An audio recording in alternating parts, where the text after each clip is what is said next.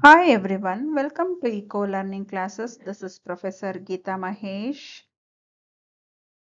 Dear students ಇವತ್ತು ನಾವು functions of stock exchange ಬಗ್ಗೆ ಮಾತಾಡೋಣ ಅದಕ್ಕೂ ಮೊದಲು ಸ್ಟಾಕ್ ಎಕ್ಸ್ಚೇಂಜ್ ಅಂದರೆ ಏನು ಅಂತ ತಿಳ್ಕೊಳ್ಳೋಣ stock exchange is an institution okay which provides buying and selling of existing securities ಅಂದರೆ ಇದು ಸೆಕೆಂಡರಿ ಮಾರ್ಕೆಟ್ನ ನಾವು ಸ್ಟಾಕ್ ಎಕ್ಸ್ಚೇಂಜ್ ಅಂತ ಕರಿತೀವಿ. ನಿಮಗೆ ಗೊತ್ತಿದೆ financial market is divided into two division one is primary market another one is a secondary market ಅಲ್ವಾ? Secondary market is also known as stock exchange market ಅಂತ ನಾವು ಹೇಳ್ಬೋದು. So it is a market where exchange of existing securities takes place ಅಂದರೆ buying and selling of securities will takes place ಅಂಥ ಪ್ಲೇಸ್ನ ನಾವು ಏನಂತ ಹೇಳ್ತೀವಿ? ಸ್ಟಾಕ್ ಎಕ್ಸ್ಚೇಂಜ್ ಅಂತ ಹೇಳ್ತೀವಿ.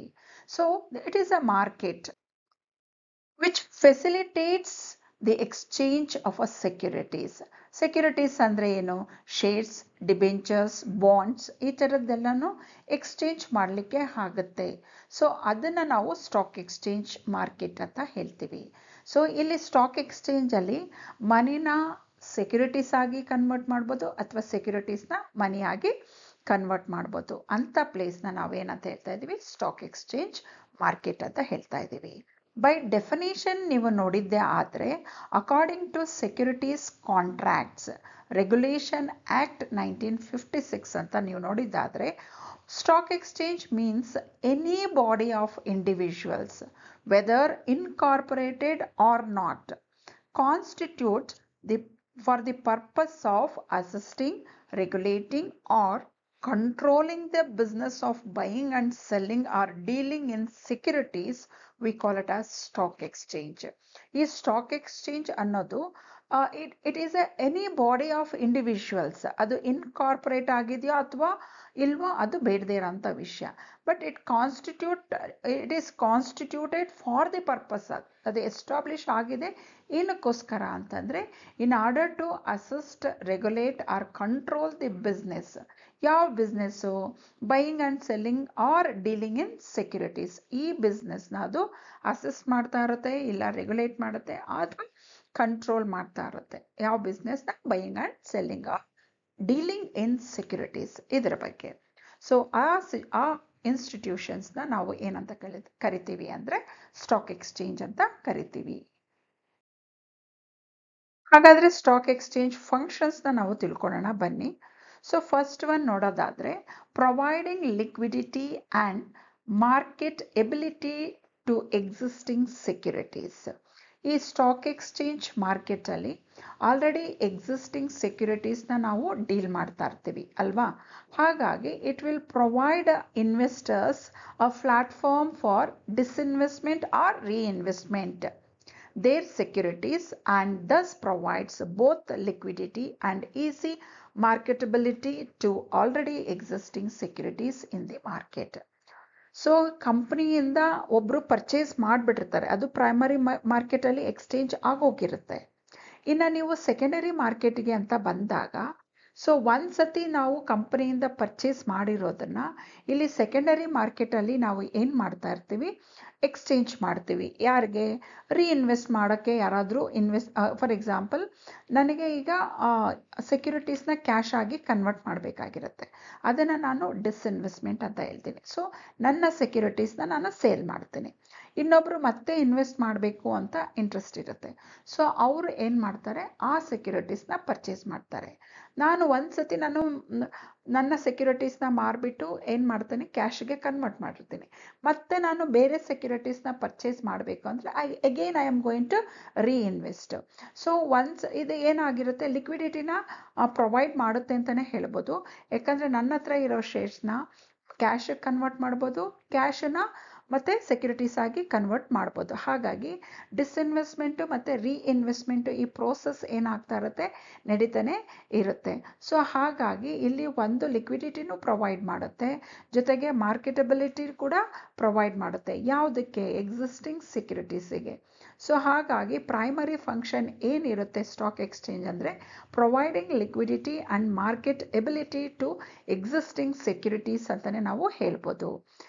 ಇನ್ನೊಂದು ಸೆಕೆಂಡ್ ಒನ್ ನೋಡಿದ್ದಾದರೆ ಪ್ರೈಸಿಂಗ್ ಆಫ್ ಸೆಕ್ಯುರಿಟೀಸ್ ನಿಮಗೆ ಗೊತ್ತಿದೆ ಸ್ಟಾಕ್ ಎಕ್ಸ್ಚೇಂಜ್ ಮಾರ್ಕೆಟಲ್ಲಿ ಮಾರ್ಕೆಟ್ ಫೋರ್ಸಸ್ ಅಂದರೆ ಡಿಮಾಂಡ್ ಮತ್ತು supply of shares determine the prices of shares in the stock exchange market ಅಂತ.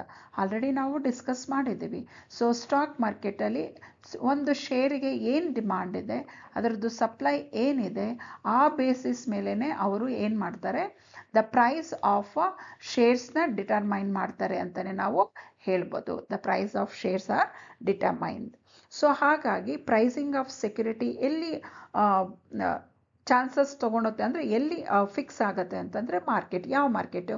ಸ್ಟಾಕ್ ಎಕ್ಸ್ಚೇಂಜ್ ಮಾರ್ಕೆಟಲ್ಲಿ ಸೊ ಮಾರ್ಕೆಟ್ ಫೋರ್ಸಸ್ ಅಂದರೆ ನೀವು ನೆನ್ಪಿಟ್ಕೊಳ್ಬೇಕು. ಡಿಮಾಂಡ್ ಆ್ಯಂಡ್ ಸಪ್ಲೈನ ನಾವು ಮಾರ್ಕೆಟ್ ಫೋರ್ಸ್ ಅಂತ ಹೇಳ್ತೀವಿ. It provides a important ಇನ್ಸಸ್ instant information for both buyers and sellers in the market so ಮಾರ್ಕೆಟಲ್ಲಿ instant ಆಗಿ information important ಇನ್ಫಾರ್ಮೇಷನ್ನ ಸಿಗೋ ಹಾಗೆ ಮಾಡುತ್ತೆ ಅಂತಲೇ ನಾವು ಹೇಳ್ಬೋದು. ಸೊ ಇನ್ನೊಂದು ನೋಡೋದಾದರೆ ಮಕ್ಕಳ safety of transaction safety of transaction ಇಲ್ಲಿ the members of stock exchange ಇರ್ತಾರಲ್ಲ ಅವರು ವೆಲ್ ಆರ್ಗನೈಸ್ಡ್ ಮತ್ತು dealing are well defined okay ಅವ್ರ ಡೀಲಿಂಗ್ಸ್ನ ವೆಲ್ ಡಿಫೈನ್ ಆಗಿರುತ್ತೆ, ಮತ್ತು ಅವರು ವೆಲ್ ರೆಗ್ಯುಲೇಟೆಡ್ ಅಂತಲೇ ನಾವು ಹೇಳ್ಬೋದು. Membership of stock exchange so ಅಲ್ಲಿ ಲೀಗಲ್ ಫ್ರೇಮ್ವರ್ಕ್ ಏನಿರುತ್ತೋ ಅದು ಪ್ರಾಪರಾಗಿ ಎಕ್ಸಿಸ್ಟ್ ಆಗಿರುತ್ತೆ. ಜೊತೆಗೆ ಆ legal ಫ್ರೇಮ್ವರ್ಕಲ್ಲೇ they are all well organised and well regulated ಅಂತಲೇ ನಾವು ಹೇಳ್ಬೋದು. ಹಾಗಾಗಿ ಅಲ್ಲಿ ಸೇಫ್ಟಿ ಇರುತ್ತೆ ಅಂತ ನಾವು ಸಜೆಸ್ಟ್ ಮಾಡ್ಬೋದು. Next it contributes to economic growth definitely share market will contribute to economic development ಅಂತಲೇ ಹೇಳ್ಬೋದು. ಸ್ಟಾಕ್ ಎಕ್ಸ್ಚೇಂಜ್ ಮಾರ್ಕೆಟ್ ನಮಗೆ ತುಂಬಾ ಹೆಲ್ಪ್ ಮಾಡುತ್ತೆ ಎಕನಾಮಿಕ್ ಗ್ರೋತ್ ಅಚೀವ್ ಮಾಡೋದ್ರಲ್ಲಿ ಅಂತ ಹೇಳ್ಬೋದು. ಯಾಕಂತಂದರೆ ಯಾವಾಗ ಇಲ್ಲಿ stock ಎಕ್ಸ್ಚೇಂಜಲ್ಲಿ cash is converted into stock and stock is converted into Shah cash ಈ ರೀತಿನಲ್ಲಿ ನಡಿಬೇಕಾದ್ರೆ ಅದರದ್ದು ಪ್ರೈಸಸ್ಸು ಗ್ರೋತ್ ಮತ್ತು ಇನ್ಕ್ರೀಸ್ ಆರ್ ಡಿಕ್ರೀಸ್ ನಡೀತಾ ಇರುತ್ತೆ. ಸೊ ಹಾಗಾಗಿ ಸಪ್ಲೈ ಆಫ್ ಮನಿ ಫ್ರೀಕ್ವೆಂಟಾಗಿ ನಡೀತಾನೆ ಇರುತ್ತೆ ಅಂತಲೇ ಹೇಳ್ಬೋದು. ಸೊ ಹಾಗಾಗಿ ಈಸಿಯಾಗಿ ಫಂಡ್ಸ್ನ ಸ್ಟಾಕ್ ಎಕ್ಸ್ಚೇಂಜ್ ಮಾರ್ಕೆಟಲ್ಲಿ ರೈಸ್ ಮಾಡ್ತಾ ಫಂಡ್ಸ್ನ ರೈಸ್ ಮಾಡ್ತಾ ಅವರು ಕ್ಯಾಪಿಟಲ್ ಫಾರ್ಮೇಷನ್ ಆಗುತ್ತೆ ಅಂತಲೇ ನಾವು ಹೇಳ್ಬೋದು. So money will be available for investment ಅಂತಲೇ ನಾವು ಹೇಳ್ಬೋದು. ಯಾವಾಗ ಕ್ಯಾಪಿಟಲ್ ಫಾರ್ಮೇಷನ್ ಇನ್ಕ್ರೀಸ್ ಆಗುತ್ತೋ ಆಗ ಎಕನಾಮಿಕ್ ಗ್ರೋತ್ ಡೆಫಿನೆಟ್ಲಿ ಅಚೀವ್ ಮಾಡ್ಬೋದು ಅಂತ ನಾವು ಹೇಳ್ಬೋದು. ಮತ್ತು ಸ್ಪ್ರೆಡ್ಡಿಂಗ್ ಆಫ್ ಇಕ್ವಿಟಿ ಕಲ್ಚರ್ ಅಂತಲೇ ನಾವು ಹೇಳ್ಬೋದು.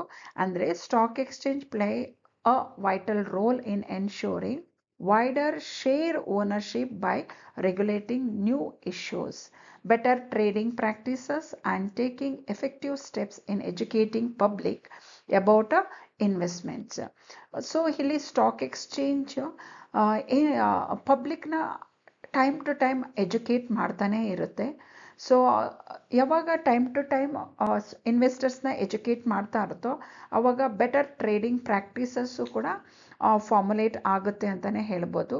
ಮತ್ತು ಎಫೆಕ್ಟಿವ್ ಸ್ಟೆಪ್ಸ್ ಕೂಡ ತೊಗೊಳ್ತಾ ಇರುತ್ತೆ ಯಾರನ್ನ ಪಬ್ಲಿಕ್ನ ಎಜುಕೇಟ್ ಮಾಡೋದ್ರ ಜೊತೆಗೆ ಓನರ್ಶಿಪ್ ಏನಾಗಿರುತ್ತೆ ಇನ್ಕ್ರೀಸ್ ಆಗುತ್ತೆ ಅಂತಲೇ ಹೇಳ್ಬೋದು by regulating new issues new ಇಶ್ಯೂಸ್ನ increase ಮಾಡೋದ್ರಿಂದ ದ ಓನರ್ಶಿಪ್ ಏನಾಗುತ್ತೆ? ಇನ್ಕ್ರೀಸ್ ಆಗುತ್ತೆ ವೈಡನ್ ಆಗುತ್ತೆ ಅಂತಲೇ ನಾವು ಹೇಳ್ಬೋದು. ನೆಕ್ಸ್ಟ್ ನೋಡೋದಾದರೆ ಇಲ್ಲ ಅಂತಂದರೆ ಸ್ಟಾಕ್ ಎಕ್ಸ್ಚೇಂಜ್ ಮಾರ್ಕೆಟಲ್ಲಿ ಇಲ್ಲಿ ನೋಡೋದಾದರೆ ಸ್ಪ್ರೆಡ್ಡಿಂಗ್ ಆಫ್ ಇಕ್ವಿಟಿ ಕಲ್ಚರ್ ಅಂತ ಹೇಳ್ದಂಗೆ. ಒಂದು ಕಡೆ ಪಬ್ಲಿಕ್ನ ಎಜುಕೇಟ್ ಮಾಡ್ತಾ ಇರುತ್ತೆ ಪಬ್ಲಿಕ್ನ ಅಟ್ರ್ಯಾಕ್ಟ್ ಮಾಡುತ್ತೆ in order to make a investment ಈ ಥರ ಸ್ಟಾಕ್ ಎಕ್ಸ್ಚೇಂಜ್ ಮಾರ್ಕೆಟ್ಸ್ ಇಲ್ಲ ಅಂತಂದಿದ್ರೆ all savers may not be able to invest ಅಲ್ವಾ? ಎಲ್ಲ ಸೇವರ್ಸು ಬಂದು ಅಲ್ಲಿ ಇನ್ವೆಸ್ಟ್ ಮಾಡ್ತಾ ಇರಲಿಲ್ಲ. ಯಾರೋ ಫ್ಯೂ ಪೀಪಲ್ ಇನ್ವೆಸ್ಟ್ ಮಾಡ್ತಾ ಇದ್ರು, ಅದರದ್ದು ಅಡ್ವಾಂಟೇಜು ಪಡ್ಕೊಳ್ತಾ ಇದ್ರು. ಅಲ್ಲಿ ಇನ್ಇಕ್ವಾಲಿಟಿ ಇರ್ತಾ ಇತ್ತು ಅಂತಲೇ ನಾವು ಹೇಳ್ಬೋದು.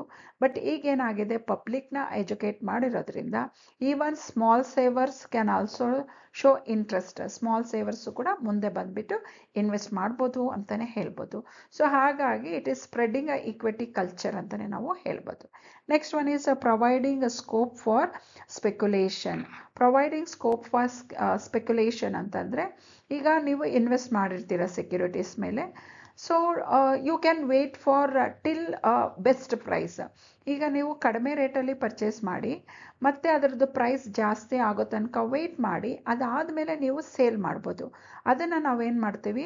ಸ್ಪೆಕ್ಯುಲೇಷನ್ ಅಂತಲೇ ನಾವು ಹೇಳ್ತೀವಿ. ಅಂದರೆ in order to take a advantage of rise in price of bonds ಆಯಿತಾ?